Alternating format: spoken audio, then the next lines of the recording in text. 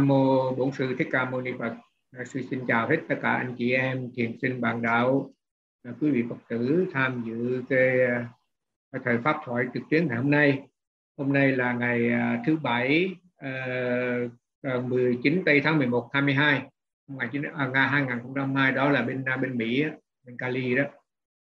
Còn bên Việt Nam hiện tại hiện tại sư đang ở Việt Nam thì hôm nay là ngày Chủ nhật ngày 20 tây và bây giờ là 9 giờ sáng bên Cali là 6 giờ chiều.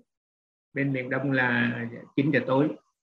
Thời giờ nó, nó thay đổi thành ra mình phải thích nghi. À, cái vấn đề là tự nhiên trời mưa rất là dữ. Mưa từ tối hôm qua tới tới bây giờ luôn. À, liên tục uh, suốt ngày hôm qua trời mưa hôm qua hôm nay nữa. Thành ra sư đóng hết tất cả các cửa. Không biết quý vị nghe sư có rõ không? Chắc phải mở. Rõ hả?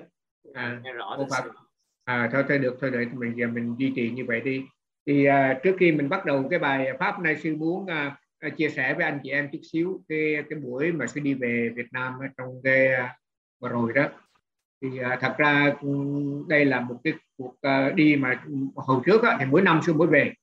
Nhưng mà vừa rồi nó dịch tới ba bốn năm mới sư mới về lại Việt Nam là về trở lại. Đây lần này là ba sau sau cái ba năm đó thì thấy có một nhiều cái sự thay đổi rất là lớn cái sự thay đổi mà trước nhất mà sư thấy là tại cái chỗ mà sư sắp sửa mở khóa thiền đó sư mở chỉ một chỗ thôi đó là thiền viện Phước Sơn đó.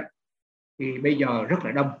À, à sư về sư nghe nói là sư cả chùa Phước Sơn đã cho phép tất cả nhiều cái hệ phái vào trong đó sinh hoạt.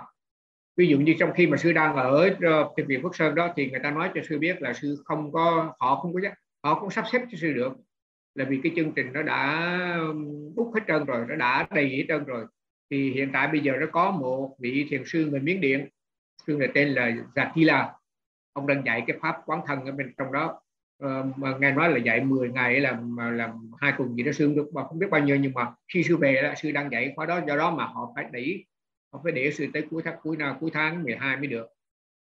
Là thứ nhất cái thứ hai nữa là quý vị biết là có một cái nhóm tên là uh, nhóm gì ta? Mà không phải bên là bên hệ, hệ phái bắc tông á. Họ niệm về à, mà không phải a di đà mà họ niệm về cái gì đó không biết. Mà họ tới một ngàn năm trăm người. Đó, nhưng mà vì cái cái cái chỗ mà mà để cho ngồi thiền có được có sáu bảy trăm thành ra sư cả đó giới hạn sáu bảy trăm mà anh chị em biết là khi mà họ tới một cái số đông như vậy đó um, họ niệm về cái gì hạt quên rồi quên tên rồi. Nhưng mà một cái danh hiệu thật bên bắc tông đó, và họ cứ họ tiếp tục họ dạy học, họ tụng rất là nhiều.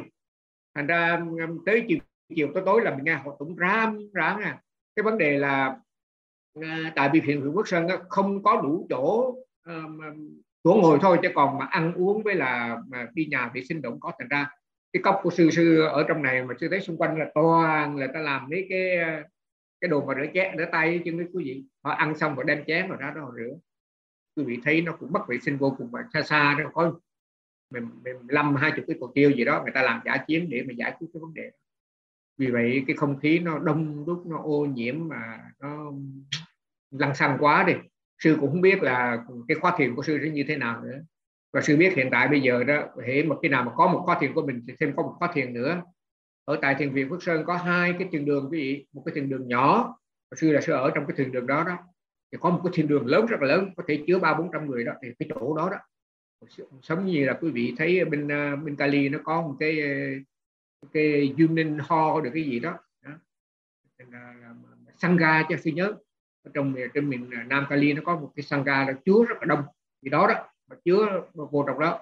Mà bên kia thì chỉ là tới sinh hoạt chừng vài ba tiếng còn đây họ ở luôn ở qua đêm. Sư không biết ở bao lâu mà khi sư tới thì sư nghe nói 9 giờ là họ giải tán và khi mà họ đã đi rồi thì có một thấy xe có gần mấy chục chiếc xe buýt chở người ta tới nữa. Thành ra cái sinh hoạt ở tại trường thiền viện Phước Sơn nó rất là ồn ào náo nhiệt. Thành ra sư cũng biết khóa thiệt tới như thế nào thì thôi thì kể nó mình cũng phải là tùy cơ ứng biến thôi chứ không biết làm sao. À, thời tiết ở đây rất là tốt. Hiện tại bây giờ đó là ở Việt Nam à, qua qua cái mùa nắng rồi.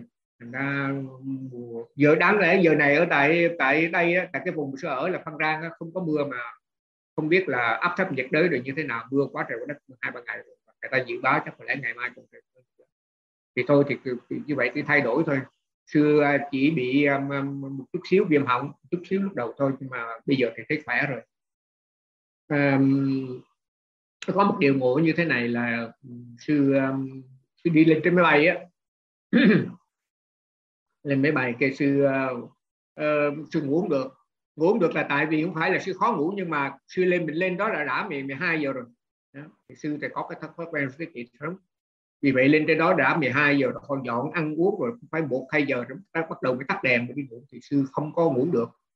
Thì sư đợi cho họ đi hết rồi rồi sư ra phía sau á, chỗ cái khu vực mà người có mấy cô mà tiếp viên họ đi mua đi ra họ lấy nước rồi rồi thì sư xin phép đứng một góc đó, bên này cái cầu tiêu rồi mình đứng ngay một khoảng trống trống rồi sư đó sư tập, ví dụ cái thao thì sư làm cái chuyện của sư thôi. Thì tự nhiên có một cái cô tiếp viên cô nói một câu cô nói rằng là thầy tập như vậy hành chi thầy khỏe được. Sư nói ủa cô người Việt Nam hả? Đó, thì nó bắt đầu với câu chuyện. Thì cô nói như thế này là cô nói là cô trong cái, cái phi hành đoàn trong đó nó có hai người tiếp viên người Việt Nam. Ờ, à, rồi sư hỏi là như vậy là quý cô mà, mà đang phục vụ cho hãng máy bay của Taiwan đó, thì chắc có lẽ là phải ở bên Taiwan cô nói không? Người ta tuyển từ Việt Nam đưa qua Thái Quan huấn luyện à, training bên đó rồi, rồi người nào về trú xứ đó thành ra cô nói cái chỗ ở nó phải đi tới đi lui rất là nhiều. Rồi khi mà lên máy bay á, nó giờ giấc nó khác. Ăn uống cũng rất là khó khăn thành ra cô nó cô bệnh rất là dữ. Và cô nghĩ là chắc có lẽ là cô sẽ không có làm cái trong phục vụ cho hãng airline nữa. Thì đấy bắt đầu cô đi vô câu chuyện của cô á cái sư cũng không, không chịu cô khai chút nào cho sư chỉ hỏi một cách chung chung vậy thôi thì cô nói rằng như thế này. Cô nói rằng là đó cô có một đứa em. Đứa em ờ, như là mẹ cô hay là cha cô đó một trong hai người chết rồi. Giờ còn bà mẹ tôi bà mẹ cũng không biết làm gì. Thì cô một mình cô gánh gầm để cô lo cho mấy đứa em của cô vì vậy cô ráng cô làm bên này. Cô đã làm được 6 năm rồi mà năm ba năm là dịch. Vì vậy còn ba bây giờ mà làm thật sự ba năm mà cô thấy bắt đầu đau quá trời đất rồi. bình hoạn rất là dữ và cô muốn là nghĩ là cô không muốn tiếp tục làm nữa. Có lẽ cũng đi kiếm việc cái đất cô làm thì cô nói rằng đó, đó um, theo sư con chỉ có một chuyện là con lo cho mấy đứa em quá con quá. Con không biết làm sao mà phải là xoay sở để giúp đỡ. Thì uh, sư cũng nói sơ sơ thôi sư chỉ nói là như thế này sư nói là thôi bây giờ đó ờ, cô làm chị mà cô lo cho em như vậy thì rất là tốt. Ờ, cha cha hay mẹ là mất rồi thì mình cũng giống là mình là chị đầu thì mình phải gánh nặng với gia đình nhưng mà phải nhớ một điều rằng là mình lo trong cái khả năng của mình mà thôi. Thì cô lo nhiều quá rồi cô xin lo gì đây? À, giúp em á, thì giúp rồi mà thêm thêm phần lo nữa. Nó làm cho mình bị kiệt quệ. Cô phải cẩn thận đấy. Thì tự nhiên sư chỉ nói vậy thôi sư nói thôi cô ráng cô, cô làm như vậy là đúng rồi đúng vai trò của người chị rồi đấy. Cô hy sinh cho các em rồi. Nhưng mà cô phải nhớ một điều như thế này mình phải quân bình. Mình phải giữ cái tâm mình cho yên tĩnh rồi mình ráng mình lo cho em mình, rồi mình phải nhắc nhở mình là mình lo trong khả năng của mình mà thôi. Chứ bây giờ đó cô nói là cô bươn trải cô làm việc này, việc kia, ngoài cái chuyện này đã đã mất sức rồi mà cô còn đi làm thêm đồ nữa, thì cô sẽ cẩn thận đấy, cô sẽ làm cho sức khỏe của cô nó xuống. Lúc đó mà khi mà cô nằm, cô bệnh xuống rồi thì là không ai lo. Thì đây là nói dùng cái common sense mình nói thôi cho sư cũng đâu có nói chuyện hành thiền tự nhiên cái cô đặt cái câu hỏi với sư cũng nói, bây giờ làm sao mà đừng có lo? Thì bây giờ nó có đi vô trở lại trong cái sự tu tập của mình. Sư nói chỉ có một cách mình biết mình lo đó là khi mà mình làm mà mình cứ suy nghĩ hoài về cái chuyện mình làm có phải vậy không? Nó phải. Hoài và cứ ưu tư và không biết là có được không? Trong khi mình không không hiểu cho mình rõ ràng cái khả năng của mình tới ngang nào mình có thể giúp được. Vậy là với lại đó ờ, trong cái thiền tập người ta có dặn mình đó, không phải là cái người đó là vì bà con của mình vì anh của mình chị của mình thân bằng kỹ thuộc của mình mà mình phải làm hết sức mọi chuyện. Không mình phải làm trong cái khả năng của mình mà thôi. Còn nếu mà mình không có làm trong khả năng của mình mình làm nhiều quá đi đó cái tâm của mình nó chấn động mà mình sẽ không giúp được mình mà mình không giúp được người ta mà mình không giúp được mình nữa. Cái câu hỏi sư vậy bây giờ làm sao mà tập cái sao mà để cho cái tâm nó nó nó, nó được yên tĩnh để mà cho nó có một cái sự trí tuệ để nó hiểu? Thì sư nói cái này là nó mất rất là nhiều thời giờ thì phải đi hành thiền thôi à chứ không biết làm sao đó rồi cuối cùng cô xin sư số phone xin địa chỉ rồi sư giới thiệu về thiền viện quốc sơn. Nhưng mà cô chắc là cô tới mà cô thấy một cái một cái mess là cả đông người như vậy thì chắc, chắc cô trốn quá sư cũng chẳng biết nữa. Thì thôi thì biết kệ mình đã làm trong cái khả năng của mình mà thôi. Thì ờ, nói chuyện là chuyện chơi. Rồi cái tự nhiên đang nói với cô này chỉ có một cái bà nào bà chế vô rồi bà cũng nói bà có bà mẹ bà rất là khổ bà mẹ. Đó ôi trời đất ơi cho mình tư vấn ở trên máy bay nó kỳ quá sư nói là sư không dám nói nhiều là tại vì ở đây nói nhiều sợ là ồn những người khác người ta đang ngủ đó. Thì bây giờ đó sư có cho cái số phone điện thoại rồi cái tới gặp sư ở thiền viện Phước Sơn coi thử làm sao. Thì um, sau khi mình, mình tiếp xúc như vậy rồi tôi mới thấy rằng là ở bên ngoài cái nhu cầu nó nhiều quá họ, họ ờ, dân chúng họ thấy họ khổ quá họ đủ thứ chuyện à. Mình mình chỉ cần đứng một chút mình nói là nhiều người súng lại và người nào cũng có cái chuyện để mà hỏi với mình hết trơn mà mà sư thì sức sư sẽ đâu có trả lời được hết tất cả. Mà mình chỉ trả lời cho những người nào mà biết tu tập mà thôi. Rồi khi mà sư về đây, đi về tới tới chỗ quê của sư Phát Thái đó, thì mình đi bộ mỗi ngày thường đó. Thấy một bà già, nhỏ chút xíu à hai vai vác hai cái bao. Cái tụi này chặn lại, sư Phát Thái hình như có quen với cô bà rồi mà chứ hình như sư cũng đã gặp bà nhiều lần rồi. Mới hỏi à, cô đi đâu vậy? Vác hai cái bao đi đâu vậy? Bà bà điếc dữ lắm. Điếc nó phải hét vào tai.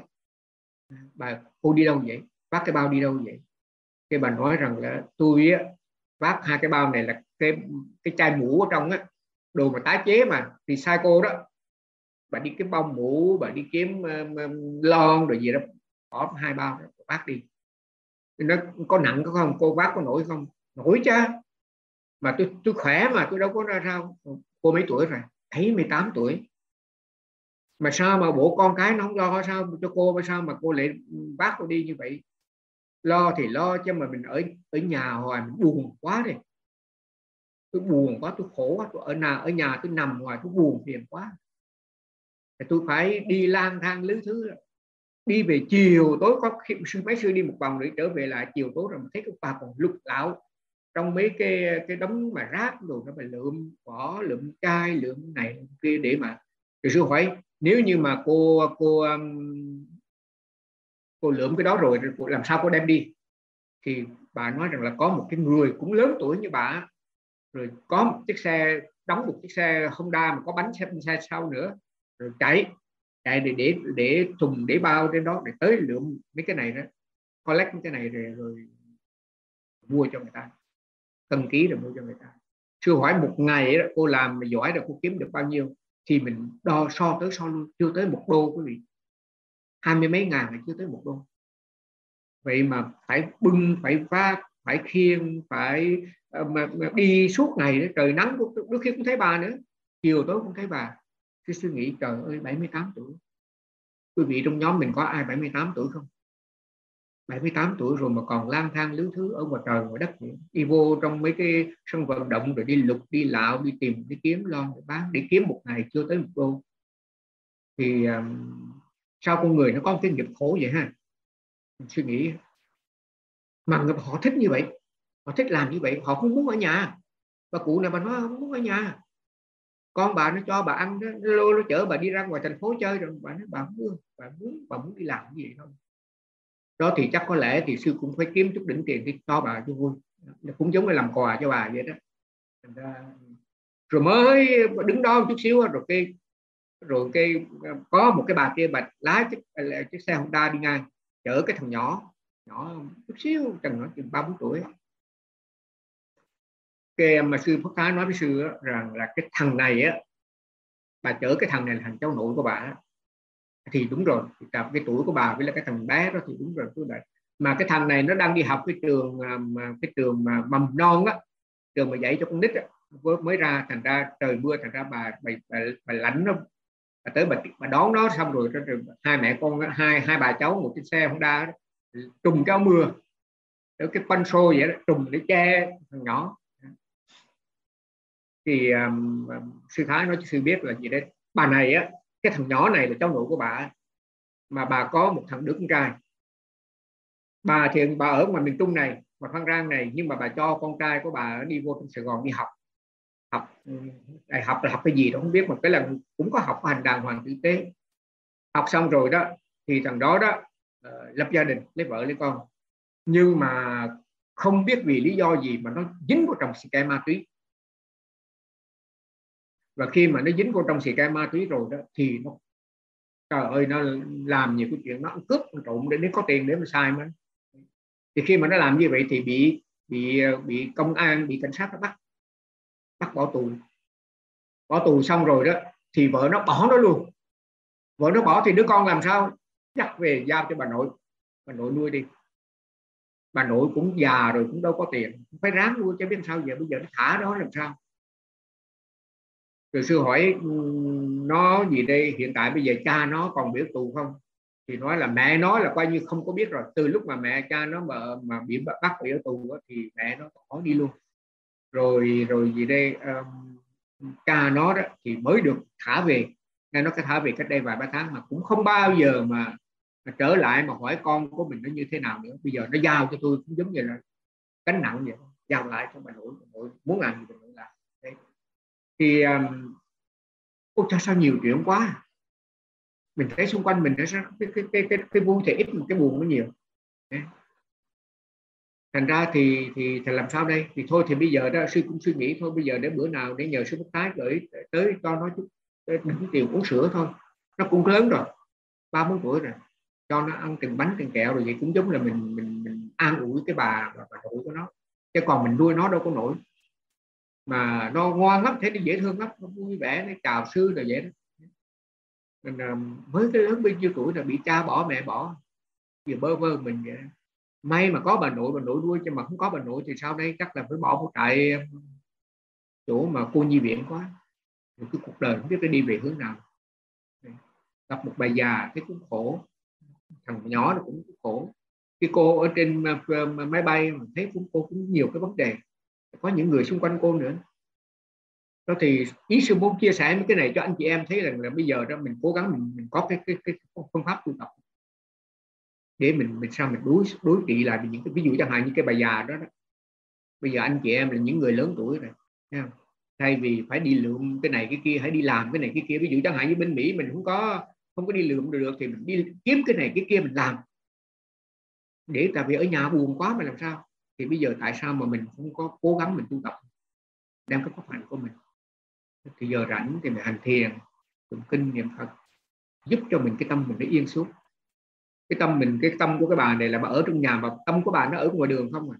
Là tại vì bà nói rằng là bà, lúc mà bà còn trẻ, bà khỏe là bà đi buôn, đi bán, đi chỗ này chỗ kia, bà không có ở nhà. Bây giờ nó có cái thói quen rồi, nó có thói quen do đó mà. Đọc hơi tiếp tục như vậy cho bà ở trong nhà bà chán quá mà chịu nổi cái cái cái chán nản cái bo đâm là luôn luôn có với tất cả mọi người. Không phải riêng một người nào hết trơn thì bây giờ mình phải tu tập cái sao để mình, mình giải quyết những vấn đề cho nội tâm của mình. Thì nó sẽ không sai cái thân mình đi làm chuyện này chuyện kia tầm bậy tầm bạ. Mình ở mình sẽ ở nhà mình sẽ ờ, ờ, ờ, phải bị mưa bị nắng. Rồi mình cố gắng mình tu tập để mình giữ cái tâm mình cho yên ổn. Thì sư chỉ có biết nói như vậy thôi à còn cái đời sống mà mình, tại gia cư sĩ ờ, mình thấy luôn luôn là có khó khăn. Thế nào mà tránh khỏi? Dĩ nhiên là anh chị em là người ờ, không phải xuất gia thì chắc chắn là phải khó khăn rồi. Nhưng mà các sư tu cũng phải khó khăn nữa. Đó, như sư nói rằng là trong cái chùa Phước Sơn đó, là chỗ đó là sư thấy nhiều sư rồi, bệnh hoạn thì dữ lắm. Phải ăn uống đâu có gì. Ăn cơm hộp quý vị nghe Việt Nam có cơm hộp cái cơm hộp là nó nấu nó nấu cái gì nó nấu, nó bóp cái hộp nó bán cho mình, nó ăn rất là hiện tượng. Mình trời ơi còn những cái thứ nào độc địa không. Dĩ nhiên là rẻ mà. Rẻ thì làm sao mà chất lượng được. Và và cái người mà nấu nướng cho họ một cái trọc kiếm lời chứ đâu có phải họ lo cho sức khỏe của các sư. Thành ra nhiều sư bị bệnh này, bệnh kia, bệnh nọ rồi vậy đó.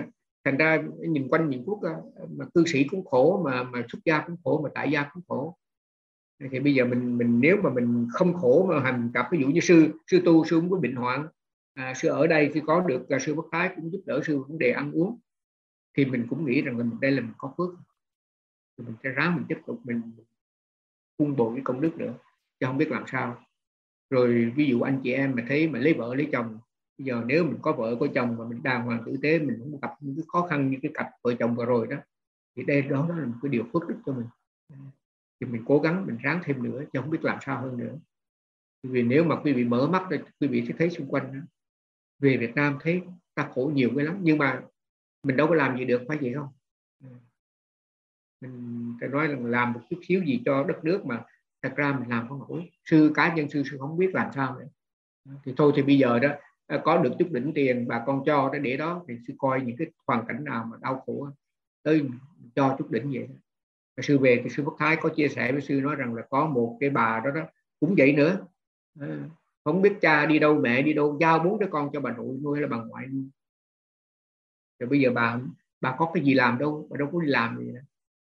Đi buôn, đi bán mà đi đi ờ, mua rau, mua đồ, bán ngoài chợ kiếm tiền mua bốn đứa nhỏ. Thì mình thôi, mình có chút đỉnh tiền, mình đem qua mình cho bà cho biết làm sao. Ra thì làm gì được, làm thôi do whatever we can phải vậy không ở trong thời gian này quý vị có cái gì thắc mắc quý vị muốn hỏi không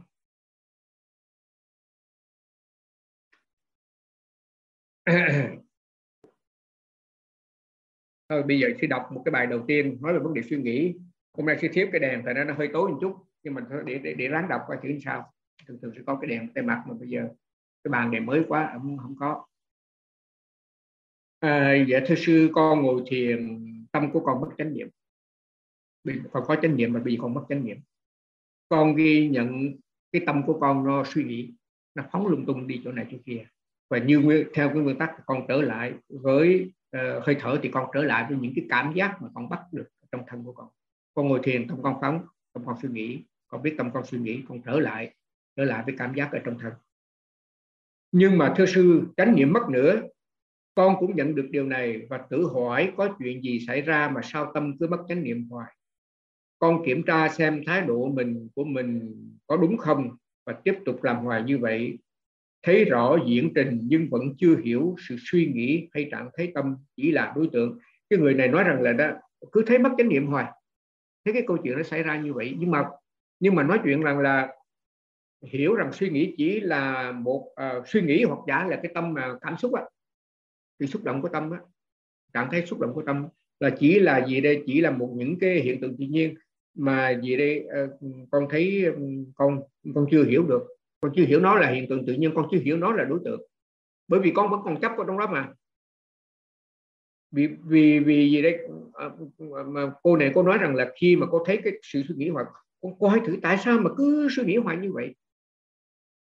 Đúng ra mình chỉ đơn giản mình nói rằng là suy nghĩ chỉ là một hiện tượng tự nhiên rồi mình tiếp tục quan quan sát những đối tượng nào mà mình có thể quan sát được lúc đó đang có mặt. Thì cô này cô hơi bức xúc một chút, cô nói rằng là con kiểm tra xem thử là tại sao mà mà gì đây, mình cứ suy nghĩ hoài như vậy. Và con thấy là rõ ràng là cái tâm con nó cứ vậy, nó đi vô đi ra, nó vậy. Rồi cái tâm bắt đầu nó suy nghĩ, rồi suy nghĩ nó mất thì chánh niệm nó có chứ có niệm mất. Mà sao mà vẫn chưa có hiểu được? Chưa hiểu được rằng là suy nghĩ là một hiện tượng tự nhiên là suy nghĩ chỉ là đối tượng mà thôi.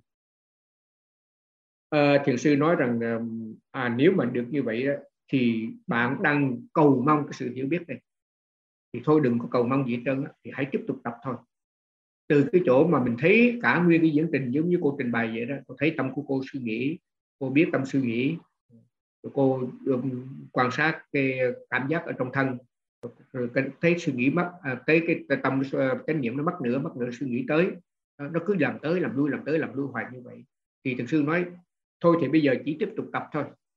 Hãy tập và tiếp tục tập từ từ bạn sẽ hiểu tâm suy nghĩ và suy nghĩ gì. Suy nghĩ có hai phần một phần là thuộc về khái niệm tức là tâm nó suy nghĩ về điều gì đó. Ví dụ chẳng hạn quý vị ngồi quý vị nghĩ về cái chuyện gia đình của quý vị quý vị về những cái cảnh đời nào mà quý vị mới gặp như hồi nãy sư nói đó.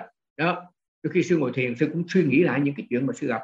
Rồi ừ, cái nội dung đó là nội dung của suy nghĩ và là cái thuộc về khái niệm và cái tâm nó đang suy nghĩ. Cái này là mình ít thấy này thường thường là mình thấy nó nghĩ cái gì thôi. Chứ còn mà họ à, thấy cái tâm đang suy nghĩ thì cái này là mình phải tập mình mới biết hiểu rằng là cái tâm mình đang suy nghĩ.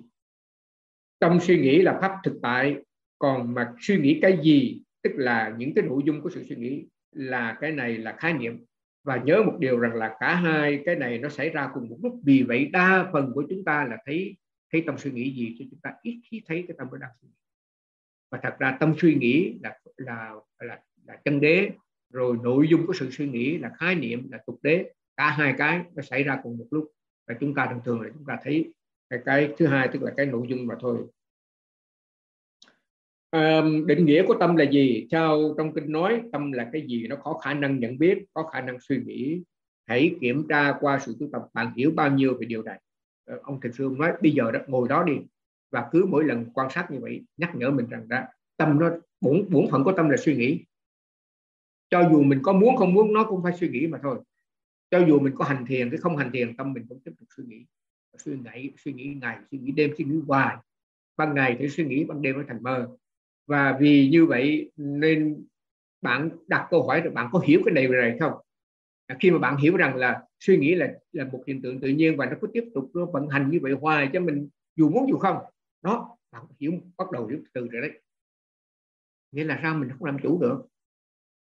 Nó vận hành một cách tự nhiên vậy thôi à. Đó thì mình hiểu là nó là một hiện tượng tự nhiên.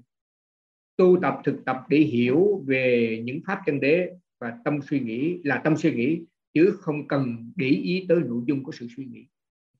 Thường là mình mới tập thì mình để ý để ý tâm. Con tâm con nó ưa suy nghĩ về cái chuyện gia đình của con tâm con suy nghĩ về người chị của con từ bà mẹ của con cha của con hay là bất cứ người nào trong gia đình hoặc giả là bạn bè thân mật thân thuộc vân vân. Thì cái để ý của mình là để ý cái tâm đang suy nghĩ. Và và gì đây cái nội dung của suy nghĩ suy nghĩ cái gì không thành vấn đề. Bởi vậy do đó mà uh, mà quý vị thấy là khi mà mình suy nghĩ những cái chuyện mà bất thiện đó, à, ví dụ như bây giờ nhà sư nhà sư mà đi suy nghĩ cái chuyện về nam nữ à, nó suy nghĩ về cái chuyện tình dục à, mình rất là sợ. Mình hoảng cái lắm. Bởi vì mình mình lúc bây giờ nếu mà mình hoảng mình sợ và mình mình cảm nghe mắc cỡ và mình sợ là người ta biết mình suy nghĩ những chuyện như vậy thì cái này trong này nó có cái bản ngã trong đó. Tôi ta trong đó. Còn khi bạn biết suy nghĩ chỉ là suy nghĩ mà thôi nó là một hiện tượng tự nhiên đó, thì suy nghĩ không có cái gì mà mắc cỡ. Nó như vậy mà thôi à khi cái tâm mình nó vẫn còn phiền não thì bắt buộc nó đúng chuyện là nó suy nghĩ. Không thể nào mà tránh khỏi được. Tu tập thực tập là hiểu pháp chân đế. Đó là hiểu về tâm suy nghĩ. Hiểu rằng là đang tâm suy nghĩ đang có mặt chứ không cần để ý tới nội dung của sự suy nghĩ. Quan sát để thấy tâm này tâm tâm suy nghĩ nó xảy ra hoài ra hoài hoài và không bao giờ ngưng hết được. Một cái khác là khi suy nghĩ đang có mặt à, hành giả quan sát suy nghĩ đó là ý căn đang làm việc, suy nghĩ xuất hiện qua ý căn. Hãy tập để hiểu những điều này xuyên qua kinh nghiệm. Chúng ta thường nói, tôi suy nghĩ, tôi tư duy. Trong thực tế, nó không của ai cả. Tập để hiểu điều này, đó thì đây là thiền sư à, kêu mừng là đề nghị một vài cái mà mình cần phải hiểu trong khi mình quan sát suy nghĩ.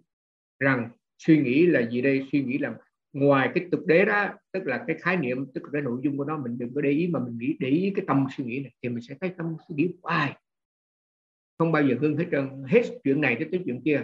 Còn mà nếu như mà mình không có để ý tâm suy nghĩ thì mình bị cái nội dung nó kéo mình đi. Và mình không thấy cái tâm nó đang suy nghĩ. Vì vậy ông nói bỏ bỏ cái nội dung đi. Nó nghĩ cái gì cái chuyện của nó. Không không care không để ý tới. Mà để ý cái tâm mình đang suy nghĩ. Thì mình sẽ thấy cái tâm này nó cứ diễn tiến hoài. Cái tâm suy nghĩ này nó có có mặt hoài. Khi mình tránh niệm, mình biết tâm suy nghĩ mình trở lại thở thì nó ngưng một chút, nhưng một chút, nhưng mà nó sẽ trở lại nữa do đó mình mới hiểu rằng nó là làm nó làm việc theo cái chiều của nó. Do đó mình hiểu theo cái kế nữa đó là nó là một hiện tượng tự nhiên. Một cái khác hồi nãy em nói bây giờ sư nói lại đọc lại hành giả quan sát suy nghĩ và và và biết rằng cái này là từ cái ý căn của mình. Mình có sáu căn cái thể mắt tai mũi lưỡi thân và ý. Thì cái ý căn nó xuất phát từ một cái căn đó là ý căn. À, cái này là cái này là dĩ căn này ha lỗ tai ha mắt nhãn căn rồi à, thiệt căn thức căn lưỡi mũi rồi ý căn. Cái ý căn này rất là quan trọng ý căn này là tâm đó, tâm là phát xuất từ đó. Vì vậy ông nói rằng là mình cố gắng để mình hiểu rằng cái ý này nó đến từ ý căn mà không có ai trong này hết trơn mà mình lại nói rằng tôi suy nghĩ. Thì đây là những cái mà thường sư đề nghị ờ, anh chị em tập và, và, và, và coi thử mình có thấy được gì không. Đây là họ cho mình cái lý thuyết à, để mình nói ông nói rằng là nó suy nghĩ đến từ ý căn mình có thấy điều này không? Mình có hiểu điều này không? Và mình có hiểu rằng nếu mà nó đến từ ý căn thì nó tự động nó xuất phát vậy cũng có mắt mình có mắt. Nhãn căn chẳng hạn thì khi có mắt có đối tượng tự nhiên nó thấy à. nó thấy thì phiền não nó khởi sanh vui buồn nhẫn ghét nó khởi sanh. Thì có phải là nó hoạt động một cách tự nhiên của nó vậy không? Mình không chặn nó được. Nó làm việc theo cái cái, cái diễn trình của nó thôi.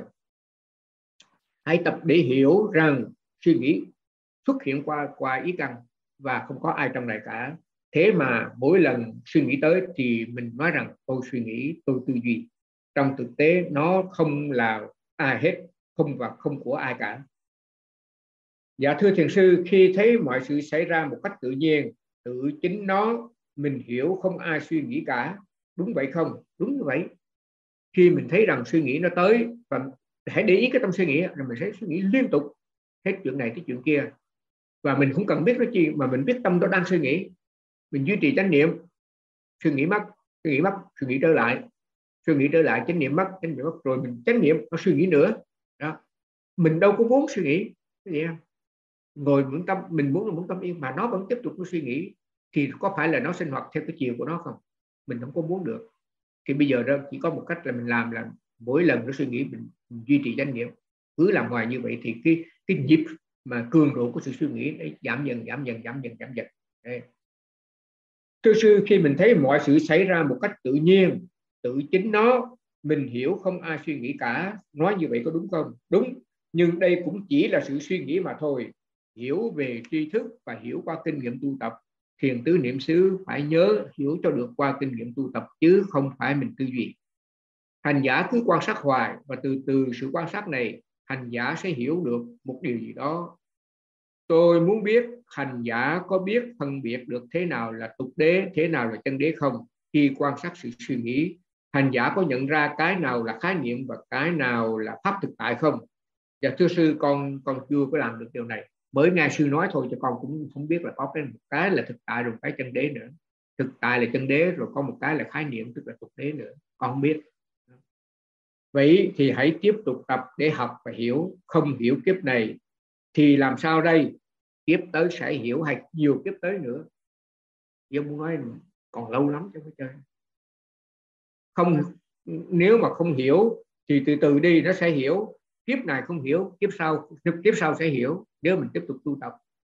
Và nếu mà kiếp sau không hiểu thì nhiều kiếp sau nữa chứ không biết làm sao. Thành ra có ai giúp mình được đâu? Vâng thì vậy, mình mình tới đây và mình hiểu, mình tu tập, người ta chỉ cách cho mình mình làm mà thôi. Chứ còn thật ra không ai giúp mình được hết trơn. Bây giờ đó ông nói, tôi muốn quý vị hiểu để quý vị đừng có phản ứng với sự suy nghĩ, quý vị đừng có phản ứng với cái trong phiền não quý vị. Nhưng mà quý vị không hiểu, quý vị cứ phản ứng hoài, quý vị cứ nói này, nói kia hoài, quý vị bực bội hoài. Hoặc giả là cái đau nó tới, nó là cũng một hiện tượng tự nhiên nữa. Nhắc quý vị, cái đau là hiện tượng tự nhiên, giúp cho quý vị hiểu, nó là một hiện tượng tự nhiên, quý vị không hiểu cũng giống như nãy giờ mình nói những cái chuyện đau khổ ở trên thế gian đau khổ là cũng chuyện tự nhiên thôi không phải vậy không? Từ sao tại sao mà có có có những cái đau khổ này xảy ra là tại vì phiền não. Một người thì quá lo lắng cho gia đình của mình phiền não này, còn tâm trí tuệ thì đâu có như vậy. Một người đó không có chịu ở nhà cứ theo thói quen của mình cứ một đi bươn chải tìm kiếm được vậy rồi bây giờ không có làm gì nữa là cũng chịu không nổi cũng phải đi, đi moi đi bắt đi tìm đi kiếm cho được. Hoặc giả là cái người mà, mà ghiền vào thì cai ma túy để mà gia đình bỏ bê gia đình bỏ con bỏ cái. Tất cả đều là phiền não hết trơn là phiền não là nguyên nhân của cái cái cái cái, cái, cái đau khổ ngày nào còn còn phiền não là ngày nó còn đau khổ mà thôi. Um, đúng thế lúc uh, mà gì đây um, chỗ này. Vậy phải tiếp tục tập tiếp, tiếp tục học tiếp tục tu để hiểu. Không hiểu kiếp này thì kiếp tới.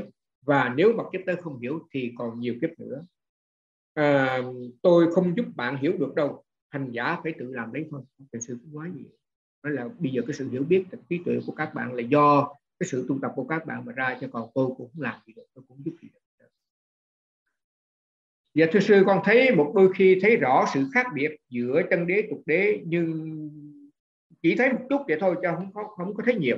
Có khi thấy khi không thì có đây là của một người khác nói cái trình sẵn vì ông nói về vấn đề tục đế chân đế thì có một sư nói rằng theo sư cũng có hiểu nhưng một con chút vậy thôi rồi nó mất à.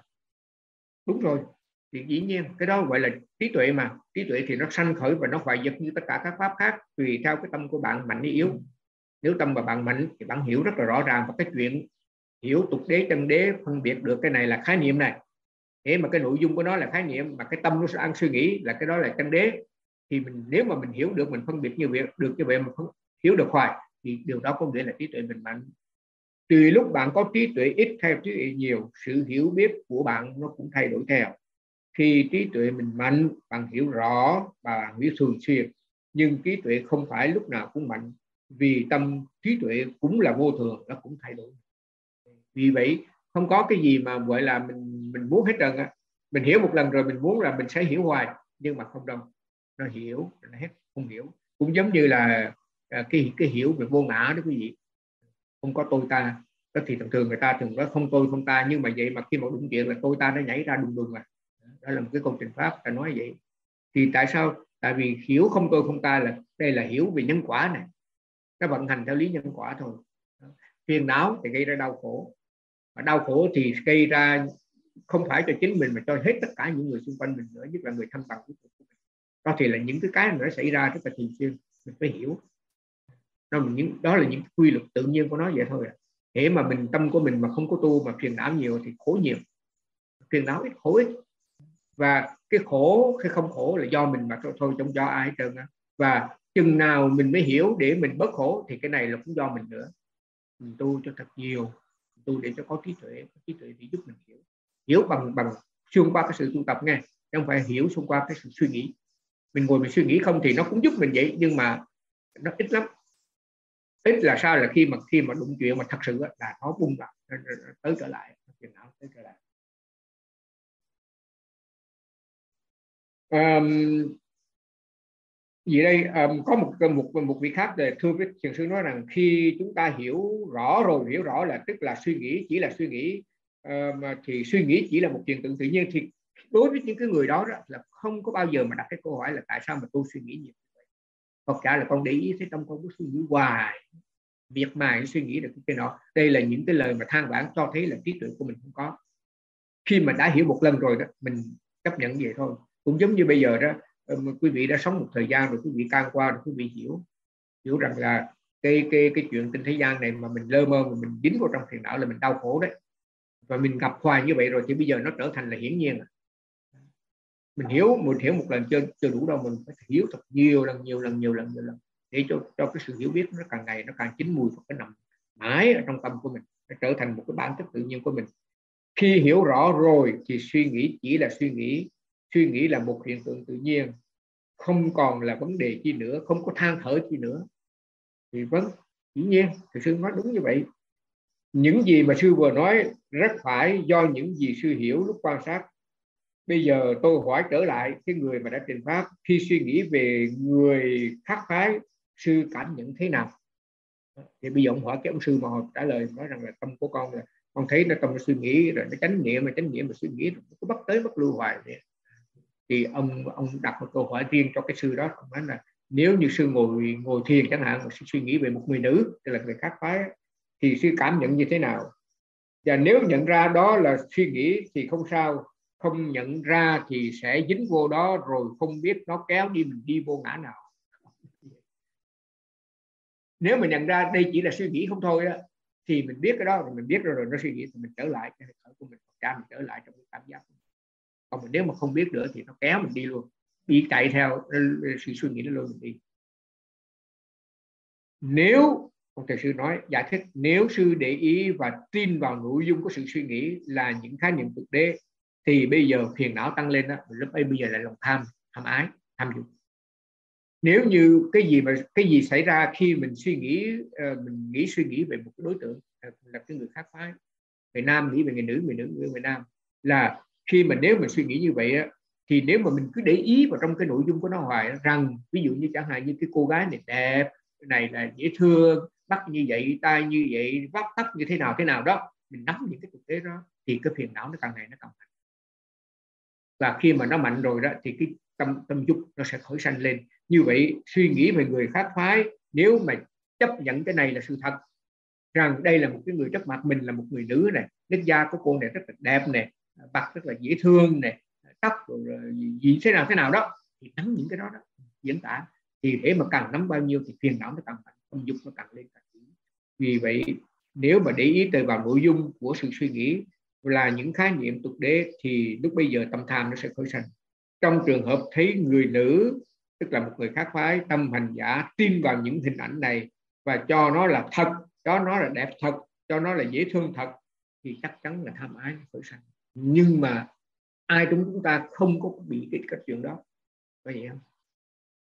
Thế mình người nhìn mình người người nam mà mình nhìn một người nữ mà, mà, mà với cái biểu lộ bên ngoài đẹp thêm kiểu à mình sẽ suy nghĩ như vậy và tham ái nó sẽ lên. Đây là thiền sư nói về những cái người mà cái người tu giỏi rồi là, là biết là đang mình đã nắm bắt cái thực tế đó. thì nó ngưng lại. Còn mình đó, đã suy nghĩ một thời gian nó kéo mình đi rồi lúc đó mình mới nhận ra. Thì bây giờ ngã nào cũng được cái trơn ngã nào cũng được. Ý sư muốn nói rằng là nó trẻ còn hơn mình không biết à. Bây giờ mình nhìn một cái người đó ví dụ như một người nam ví dụ nhà sư chẳng hạn sư nhìn một người nữ tâm của sư nó tham ái nó khởi sanh lên nó suy nghĩ về cái người nữ đó nó ái khởi lên sư đâu có nhận ra liền tức thì là đó cái đó là khái niệm cái đó là tục đế cái đó là nội dung thôi. Chưa mình chưa làm chưa được. Vì nó nhanh quá nó tới cái à, hồ ào nào cũng không ái để lên tức thì thì bây giờ chỉ có một cách là nếu mà mình nhận ra được mình tu tập mình nhận ra được tâm, tâm ái đang có mặt. Ái dục đang có mặt tâm suy nghĩ đang có mặt ái dục đang có mặt cảm xúc đang có mặt thì, thì ít ra cũng đỡ rồi.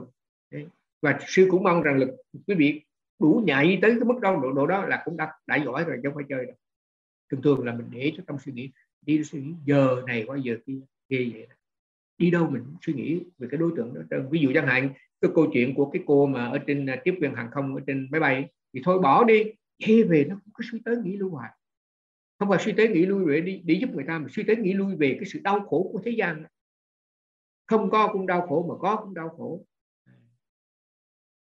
Và những cái cái người bên ngoài nó nhìn cái những cái người mà tiếp viên hàng không thì họ thấy những cái người này rất là đẹp những người này làm những công việc rất là xứng đáng rồi vậy. Lương phạm là chắc là rất là nhiều thật ra bên trong có rất nhiều đau khổ. Đâu có cái gì mà mà mà trăm phần trăm đâu có cái gì mà một hoàn toàn hết trơn.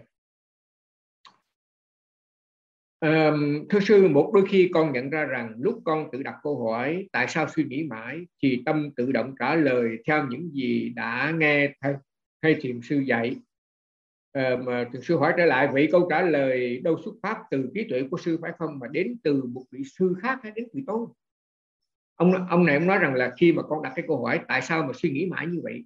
Thì những cái câu trả lời thì tâm tự động trả lời theo những cái gì mà, mà con đã nghe giảng. Đó đây là cái cái mà kêu bằng là cái um, um, cái nguy hiểm của cái sự học hành đọc quá nhiều đọc quá nhiều nghe quá nhiều cố giữ trong tâm quá nhiều thì nó nó sẽ trả lời theo cái cái cái mà mình nghe mình hiểu. Và mình rất là tương đắc cái đó nhưng mà thật ra cái đó là không phải là trí tuệ của mình. Và mình cứ tiếp tục hoài như vậy thì cái trí tuệ mình nó không phát triển. Chưa thật sự á và uh, những cái năm đầu tiên khi mà sư tiếp cận được những uh, thông tin mà ngài thiền sư Jotika sư thấy hay quá và sư rất là trân quý như này. Nhưng mà rồi mình thấy nó nó làm cho cái tâm mình suy nghĩ rất là dữ mà suy nghĩ rất là dữ thì không phải là không phải là không phải là hành chuyển làm xứ nữa rồi. Nếu mà suy nghĩ mình phải biết suy nghĩ. Suy nghĩ rất là dữ và nó ngồi ngồi đó và nó phân tách rất là dữ. Mà cái nào mình thấy nó nó không hay trơn thì thường sư nói rằng khi bạn suy nghĩ quá nhiều thì khi một đặt một cái câu hỏi đặt ra đó, liên quan tới vấn đề tu tập đó, thì thay vì nó nói rằng đặt câu hỏi để ngồi yên và duy trì chánh niệm nó sẽ đem những cái câu trả lời mà nó học được đem ra để nó trả lời cái câu này. Và nó thấy rằng hay quá đúng quá và nó rồi nó để yên nó không thèm chánh niệm nữa đấy thì ông nói rằng là cái này là cái sự thiếu sót của cái người tu tập này. Vậy khi sư nói rằng là khi câu tâm của sư đã tự động trả lời theo những gì mà tôi thầy sư đã nghe tôi nói và các vị thiền sư khác như ngài Sutika, ngài hòa thượng này thượng kia vậy câu trả lời đâu phát xuất từ trí tuệ của sư mà đến từ tôi hay đến từ một vị khác?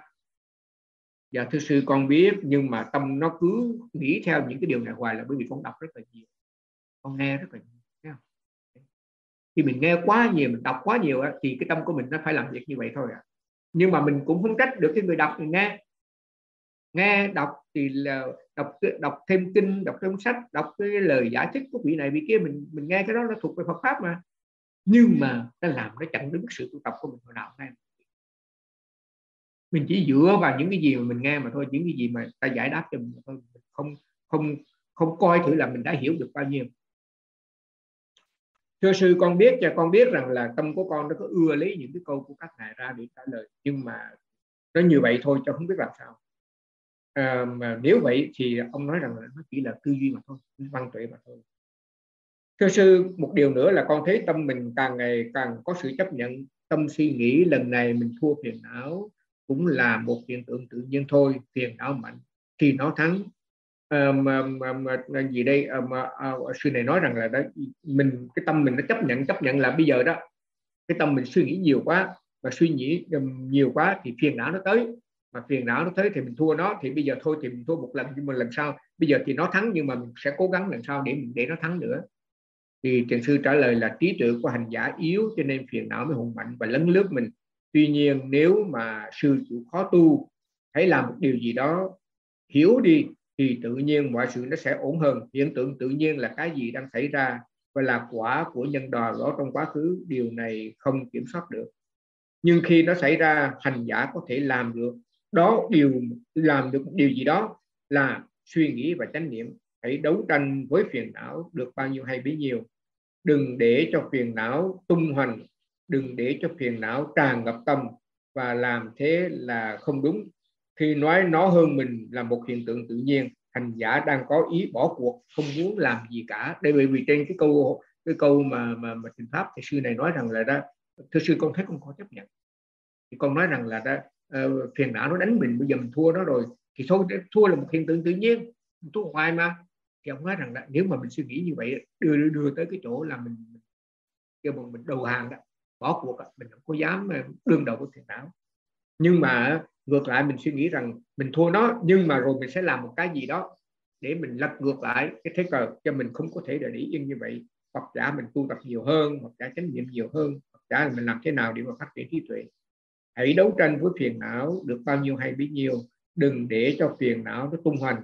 Đừng để cho phiền não tràn ngập tâm. Và ờ, gì đây làm thế là không được. À, khi sư nói rằng à, phiền não hơn mình là một hiện tượng tự nhiên thành à, sư đang có ý bỏ cuộc đấy không muốn làm gì nữa. Chúng ta chấp nhận cái gì đang xảy ra nhưng chúng ta đừng để, đừng chấp nhận để cho phiền não nó tự tung tự tác nó tự nó tự nó hoành hoành đấy nó phát triển một lúc càng mạnh. Phải thay đổi thái độ phải cách nhìn phải học hỏi thêm nữa để mà mà, mà để duy trì chánh niệm và tu tập cho đúng. Hành giả cần chấp nhận để tâm không nổi sân nhưng sau đó suy nghĩ đúng và duy trì chánh niệm thưa sư con cũng nghĩ nếu cứ để cho phiền não xảy ra hoài thì sau này sẽ hối hận sẽ nuối tiếc. À, trả lời nếu hành giả cố ý để cho nó xảy ra như thế hoài thì mới ăn năn mới hối tiếc. Đằng này sự suy nghĩ về một người khác phái đến tự nhiên chứ hành giả không cố tình suy nghĩ về những chuyện này. Nếu vào lúc này hành giả cố tình suy nghĩ về chuyện nam nữ thì mới gọi là dưỡng nuôi phiền não. Một đôi khi à, tâm tham mạnh tâm suy nghĩ về ái do nhớ lại những gì đã làm đã thấy hồi trước. Nhận ra sự suy nghĩ này nhớ phải duy trì chánh niệm đừng chạy theo đó thì uh, thiền sư giải thích uh, cho sư này cũng rất là nhiều nhưng mà đại loại là thiền sư nói rằng là đó bây giờ đó uh, mình phải giữ một cái thái độ cho cho nó tích cực hơn. Tại vì ông này ông nói rằng là phiền não nó hơn mình là chuyện tự nhiên à. và ông nói rằng câu chuyện mình nói vậy là muốn bỏ cuộc rồi đấy.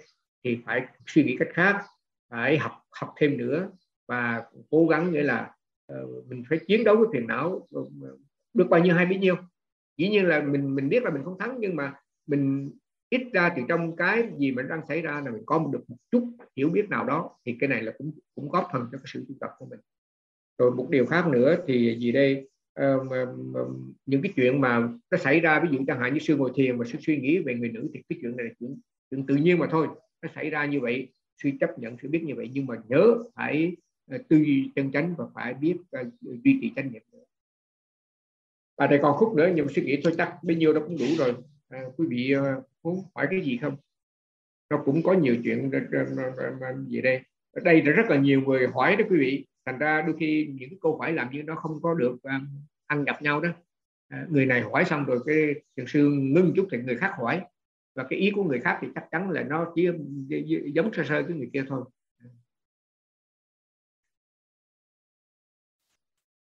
对。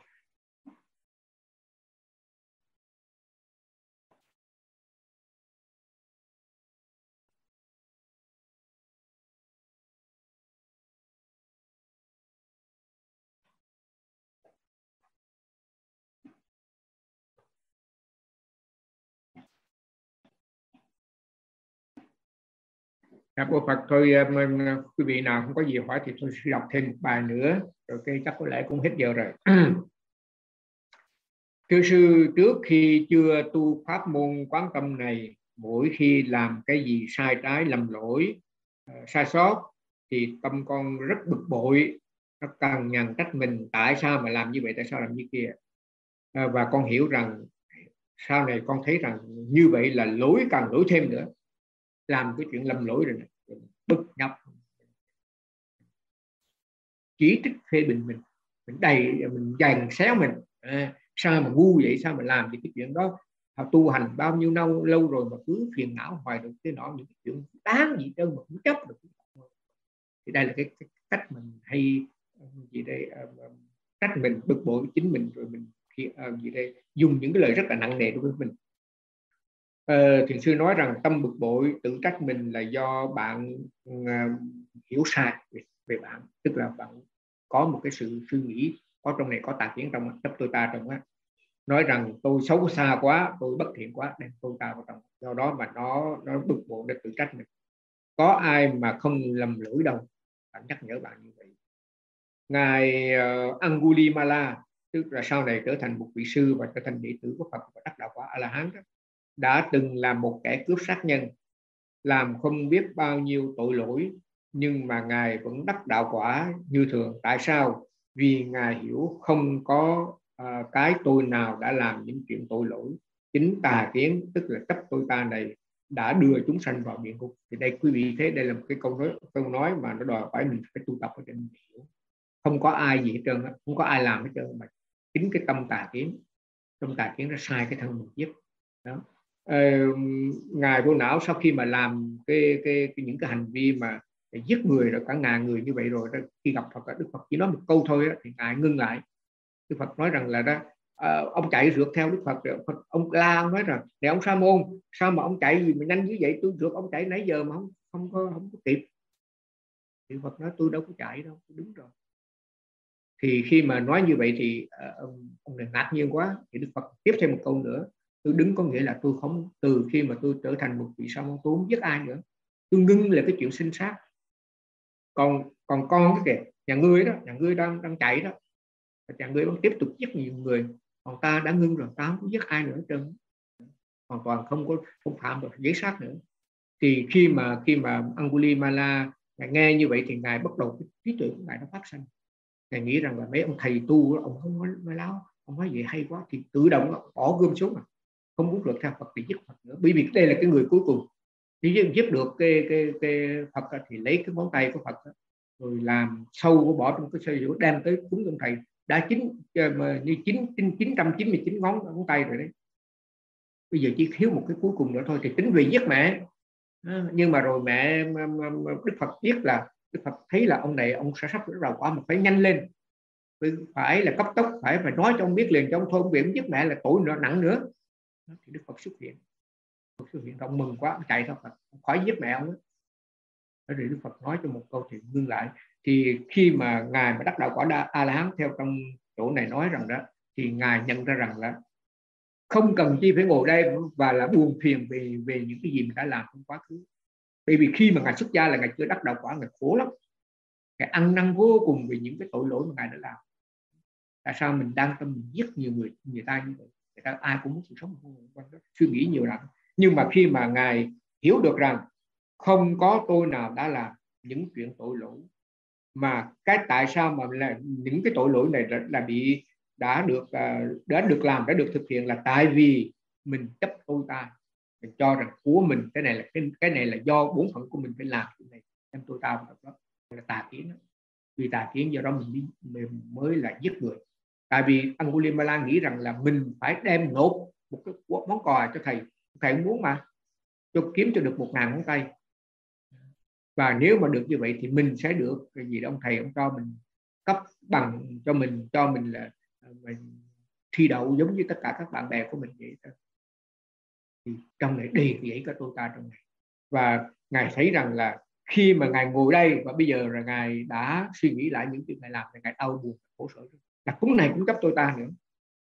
Ta đã làm những chuyện sai trái ta đã làm những chuyện lỗi lầm. Khi mà ngài hiếu đức phật dạy cái sao đúng biết ngài quán ngài hiểu rằng không có tôi ta trong này thì ngài đắc đạo quả. À, dạ thưa sư à, thưa thiền sư không ai hoàn toàn cả có phải như vậy không? Người ta nói đức phật hoàn toàn nhưng mà trên thế gian này thì ngoài phật ra không có ai hoàn toàn cả làm sao mà hoàn toàn? Thực sư nói, làm sao mà hoàn toàn khi tâm người phàm luôn luôn bị tâm si của chúng ta che án trong cái nói, trong cái nhìn, trong cái nghe, trong cái ngửi, trong cái nếm, trong cái xúc cảm, chúng ta đầy dậy cái tâm si ở trong. Sư nói, làm sao mà không, mà sao mà hoàn toàn đấy? Không thể nào hoàn toàn được. Vì vậy ờ, người ta mong rằng là ờ, thế gian này có một lúc nào đó sẽ yên ổn, nó hòa bình ờ, không có chiến tranh, không có đau khổ. Nhưng mà đó là cái giấc mơ mà thôi không bao giờ mà luôn luôn là có những cái thằng vua nó, à. nó nó quậy. Mà tại sao mà quậy là tại sao là tâm si nhiều quá vui nhiều quá. Tâm si là đưa tới tâm tham. Tâm tham thì nổi tâm sân. À, mình sân với người ta thì người ta sân mình lại hai bên đánh qua đánh lại hai bên giết nhau. Thì à, không ai mà hoàn toàn cả làm sao mà hoàn toàn đây khi tâm người phàm luôn luôn bị tâm si nó che án. Khi mà tâm si mà nó che án rồi thì tham và sân nó sẽ phải nổi lên thôi nhưng chúng ta cứ nghĩ những uh, chúng ta cứ nghĩ tôi đã làm lỗi lầm tôi đã sai tôi đã trật. Chính tâm si suy khiến làm chứ không có tôi ta nào trong này cả. Ví dụ như mình không có tu mình nghĩ rằng là giết người là, là đúng giết người là chính đáng. Hoặc giả là ai mà mà đụng tới cha tới mẹ tới thân bằng quyến thuộc của mình thì mình có quyền trả thù. Cái cái cái lý do đó là cái nỗi cái, cái tâm sân là cái nỗi sân là chính đáng đó là những cái cách hiểu mà gọi là do tâm si nó hiểu vì vì tâm si nó hiểu do đó bắt đầu nó mình chửi bới người ta mình đánh đập người ta mình trả thù người ta. Thì, thì nguyên ủy của cái vấn đề không phải là cái cá nhân nào làm hết trơn mà do tâm si vì si mê vì không hiểu do đó mới làm.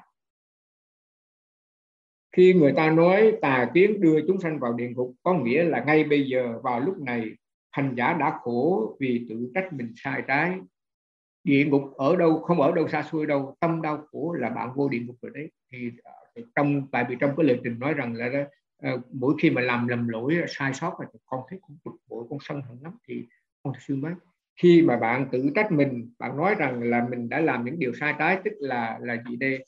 Là bạn đã đi vô trong địa ngục rồi đấy. Đâu có cần chờ tới khi mà mình chết đi mình vô địa ngục là tại vì tâm mình nó đang đau khổ này.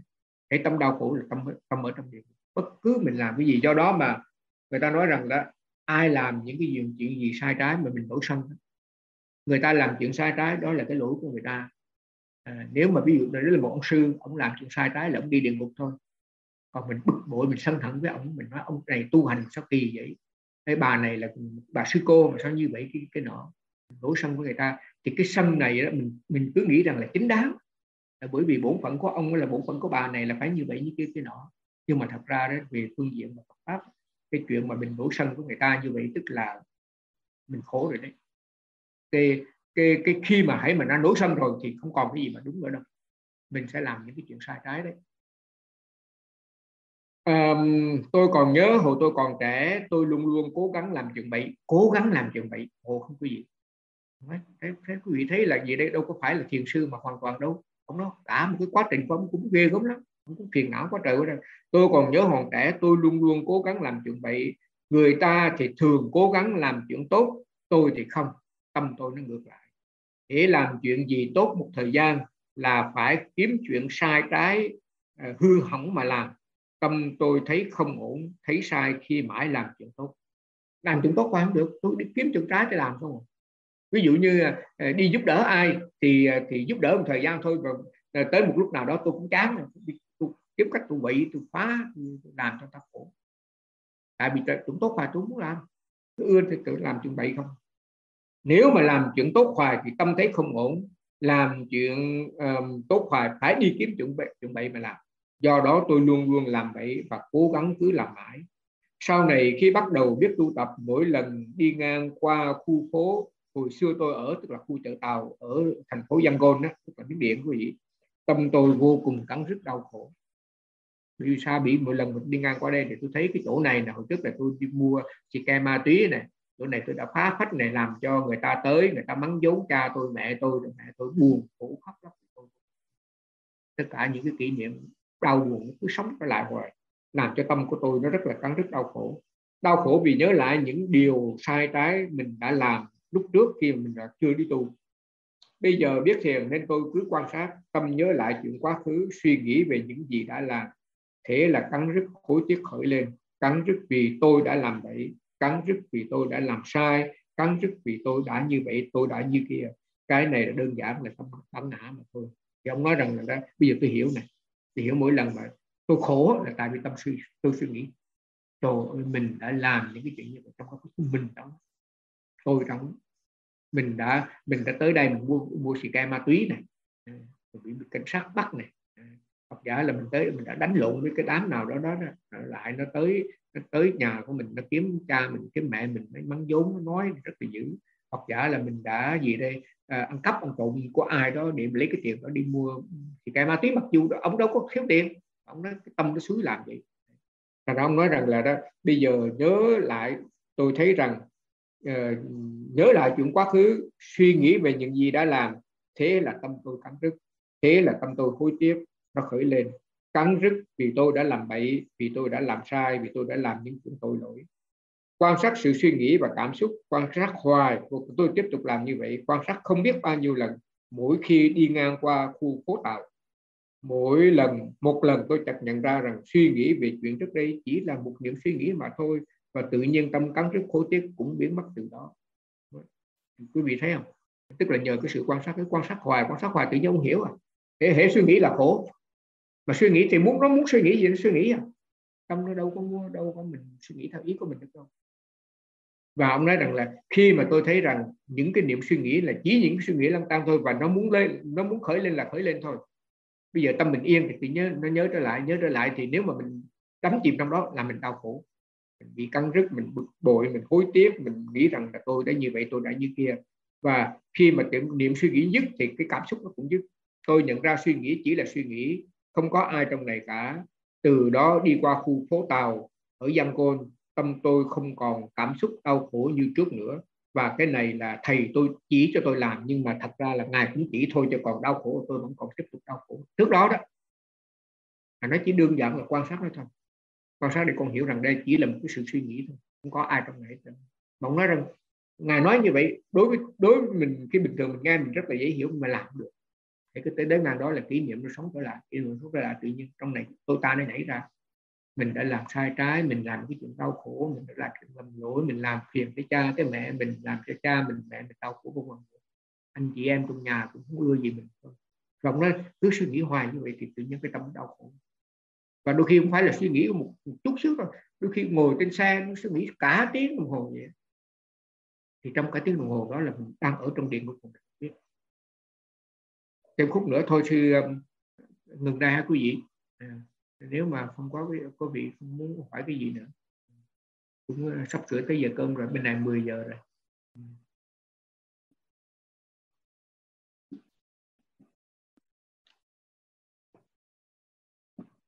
À, có một chút xíu thư thông báo để quý vị biết là gì đây? À, vừa rồi đó sư lần cuối cùng mà trước khi sư về Việt Nam sư có gửi về qua bên Miến Điện một cái số tiền là 1.750 đô. Trong đó là mình nói rằng là mình cúng 1.500 đô đó cho 3 tháng để mà, mà thực phẩm cho chư tăng Miến Điện đó. Là tháng uh, ờ, 11 tháng 12 và tháng 1 thì bây giờ ra người ta báo lại cho sư biết và 200 đô để cúng cho cái đám dỗ của ngài Hòa thượng Su Minh. Thật ra là mình cúng là tại vì người ta thường thường á, trong những cái đám mà, mà, mà sinh nhật của ngài đúng vào ngày sinh nhật của ngài thì người ta tổ chức và thường là ta đem cái tiền ta phát người nghèo không à? Ta mua đồ mua đã cho người nghèo. Để sẵn đó sư nói cho sư làm phước. Nhưng mà rồi cuối cùng bên bên Trần Thiền họ báo cho biết là họ không tổ chức thì bây giờ 200 đô làm gì? Thì sư nói thôi bây giờ đem qua cho nhà thương đi. Nếu mà quý vị có thời giờ đem qua nhà thương. Đó thì chưa có đi tới được nhà thương thì là có một cái nhóm nào đó ở trong thiền viện người ta uh, muốn kêu gọi để làm phước để mà nấu cháo cho người nghèo. Sư không biết nấu cháo cho người nghèo làm sao nữa nhưng mà cho người nghèo đó. Thì hỏi sư có muốn cúng nó ở ờ, thế là cúng đi chứ. Chờ đợi gì nữa mắc cỡ gì nữa. Rồi đó thì như vậy là quý vị à, gì đây cúng dường cho chư tăng thì quý vị cúng dường cho người nghèo nữa. Và nếu mà sư về Việt Nam hễ mà sư có thấy những cái trường hợp nào mà mà, mà bị mà khó khăn như nãy sư kể sơ đó sư gửi sư cho chút đỉnh tiền. Ở Việt Nam thì tương đối ít hơn. Mình cho mình cho vậy. Thật ra có những cái đối tượng họ cũng không cần tiền nữa, nhưng mà mình thấy tội nghiệp quá. Ví dụ như cái bà già mà đi vác hai cái bao tải đi kiếm lon, để kiếm một ngày có có có 10 ngàn 10 ngàn là 24 ngàn mới được một đô, mà 10 ngàn thì quý vị thấy chưa tới 50 sen thôi lâu lâu cho bà bà nữa. Tôi bây giờ xưa biếu cô một chút đỉnh tiền, cô bỏ túi, ăn quà phải được à, thú xa thú xa thú sư à, thì thôi bây giờ làm được cái gì mình làm thôi chứ biết sao vậy có dễ không? Trong khi mà quý vị ở bên đó thì sư ở bên này sư cũng coi. Hãy có cái những trường hợp nào mình thấy cái những cái trường hợp mà thấy tội nghiệp quá thì mình cho thôi chứ cũng biết sao còn người ta có không có thì thôi mình đừng có đặt vấn đề nữa ha. Rồi tôi xin chào quý vị nha. Quý vị bây giờ mình đọc hồi hướng đi. Dạ dạ thưa sư có ai có ai dạ. nói gì không? Con con kim sư. À, dạ, à, thưa, thưa thưa sư theo con thấy thì có thể bên Việt Nam á sư thấy nếu ai mà đau bệnh mà nghèo khổ đó, thì mình cũng nên cho tiền họ mua thuốc thang để họ uống dạ thì đó, đó. thì nhưng mà phải có phải biết được mới mới, mới cho chứ cái gì không? dạ dạ biết thì được con cho. sư cũng có nói về về, về sư Phất Thái về là sư dặn mấy cái người mà họ bán ngoài chợ ngoài đồ vậy đó. Nghe những cái trường hợp nào mà, xảy ra đó cho mình biết sư tính là tổ chức một cái buổi mà cho mấy cái người lớn tuổi tiền để mà ăn quà, là mấy bà già đó. Thì tại thấy cũng tội nghiệp quá, nhưng mà mình suy nghĩ thôi, bây giờ để để cái tiền để giúp những người mà cần cái đã, rồi sau này mình sẽ cho những cái cái mà nghĩa là những người mà nghĩa là mình thấy là cũng bằng tuổi mình đó mà thấy khổ khổ quá, tội nghiệp quá. Trước khi sư về sư làm cái đó đi sư có gì tụi con à, con nghĩ à, mà đừng đừng có lo gì cái trơn để từ từ sư sắp xếp ha từ từ sắp xếp. Bởi vì khi mà mình cho một làng đó mấy làng kia cũng dẫn mấy bà già tới đông lắm rồi. Thành ra để mình, mình coi thử sắp xếp coi thử cái tình nhiên với là mình khi một số mà đông thì mình phải liên lạc với xã rồi vậy phải có đụng tới chính quyền nữa. Tại vì mình phải kiếm một cái chỗ đông đông để mình tập trung họ thấy không? Đó, thì thì ai nhà nào cũng có ông bà già hết trơn. Đó. người nào cũng khổ trơn họ nuôi cũng nổi mà lo không có nổi. Cũng lo nhưng mà lo không có nổi thôi. Thành ra mình thôi thì mình mình biết là thôi có người có và người không thực thì cứ cho chung chung vậy thôi. Người nào mà trên 60 tuổi thì cho chút đựng tiền. Trăm ngàn trăm ngàn tức là khoảng chừng bao nhiêu tiền Việt Nam? Tiền à, tiền Mỹ. 10 mười hai chục ngàn khoảng chừng năm ba đô vậy đó. Rồi cái quỹ mình có. Được đủ. Rồi gì nữa quý vị?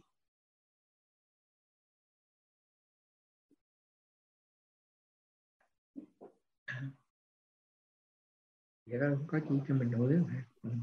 dạ mời quý vị đọc bài hồi hướng công đức nguyện đem công ờ, đức ờ, này ờ, hướng về khắp tất cả đệ tử và chúng sanh đều trọn thành Phật đạo. Sa thú sa thú lành thai con cảm ơn sư, con chào sư.